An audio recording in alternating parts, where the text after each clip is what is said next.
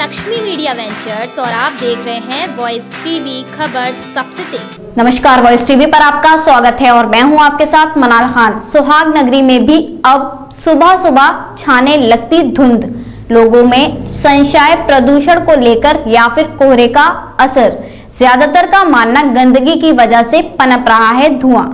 फिरोजाबाद सुहाग नगरी में आज सुबह होते ही धुंध छा गई। कुछ का कहना था कि यह कोहरे की धुंध है। तो कई एक ने बताया कि प्रदूषण की धुंध है। इस तरह से संशय बना रहा, लेकिन ज़्यादातर का मानना था, अगर कोहरे की धुंध होती तो सर्दी का अलग ही एहसास होता, पर ऐसा नहीं है।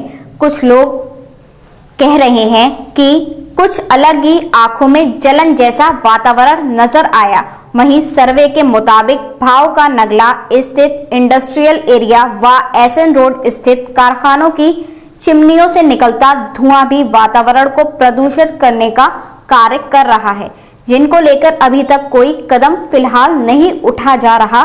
बाकी अगर यह प्रदूषण की धुंध है तो इसका तात्पर्य है वातावरण में काफ़ी गंदगी का घोल है, जो लोगों को बीमारियों की ओर ले जा सकता है। चिकित्सक डॉक्टर राहुल जैन ने कहा प्रदूषण बहुत निचले स्तर पर है गंदगी बढ़ती जा रही है इसलिए धुंध का छाना आम है।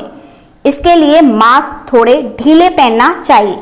फिरोजाबाद से शेखर यादव की रिपोर्ट। प्रदूषण है सर ये तो मैं रात में जगता हूँ चाय बनाता हूँ मुझे मालूम रहती है कि आँखों में करुआ करुआ गला लगता है आँखों में। तो आपके हिसाब से ये प्रदूषण का ये धुआँ छाया हुआ है ना कि कोहरा है। नहीं प्रदूषण।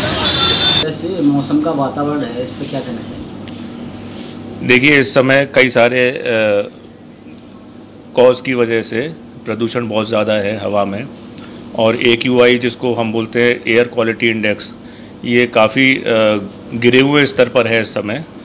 और पॉल्यूशन में इस समय सांस की बीमारियाँ, दमा आँखों में जलन कंजंक्टिवाइटिस और कुछ स्किन प्रॉब्लम्स ये बहुत आम बातें हैं जिनके लिए सभी लोगों को जागरूक होना चाहिए।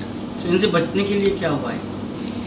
देखिए पहले तो जब एयर क्वालिटी इंडेक्स यानी कि हवा में पॉल्यूशन का स्तर बहुत ज़्यादा है उस समय हम बाहर जाने से जितना कोशिश कर सकें बचें।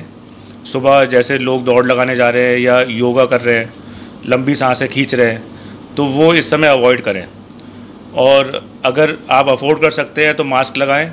मास्क अफोर्ड नहीं कर सकते हैं तो साफ़ी या कोई भी रुमाल बांधें और अच्छा होगा उसको थोड़ा सा गीला करके बांधें।